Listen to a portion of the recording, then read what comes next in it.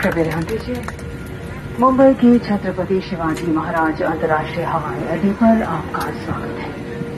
यहाँ इस समय शाम के सात बजकर पचास मिनट हुए हैं और बाहर का तापमान 31 डिग्री सेल्सियस है।